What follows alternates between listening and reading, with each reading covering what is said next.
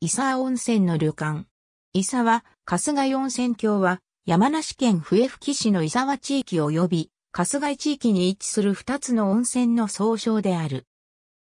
伊沢温泉郷の位置関係を記入した空中写真。旧伊沢町、旧春日井町の境界線を黄色いラインで示した。国土交通省国土地理院地図、空中写真閲覧サービスの空中写真をもとに、作成伊沢温泉郷で最初に開け湯したのは、日の出温泉で1909年まで遡る。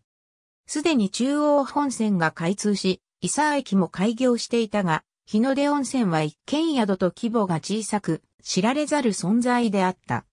天気が訪れたのは、高度成長時代の1961年で、駅南側で温泉を掘削したところ突如として、大量の温泉が噴出し、青空温泉としてマスメディアに紹介されたことで一気に知名度が向上する。その後伊沢地区、さらには春日井地区でも掘削が始まり、1964年には春日井地区でも大量の温泉が湧き出るようになる。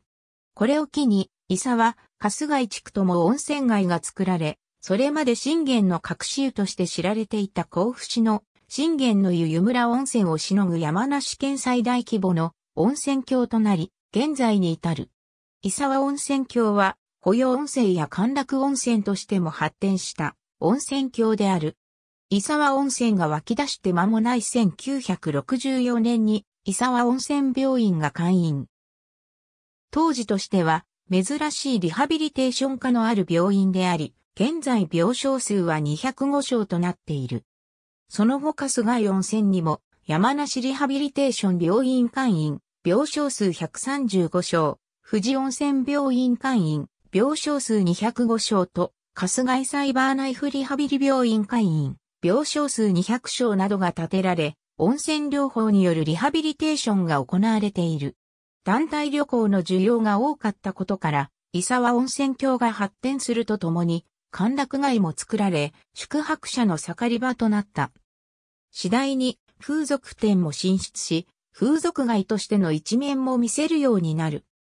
ただし宿泊者及び来訪者のニーズの変化により、歓楽街及び風俗街としては縮小傾向にある。なお、歓楽街は、伊沢温泉側に集中しており、療養期間や住宅の多い春日井温泉側にはあまり見られない。日の出温泉に至っては、歓楽的要素は皆無である。ありがとうございます。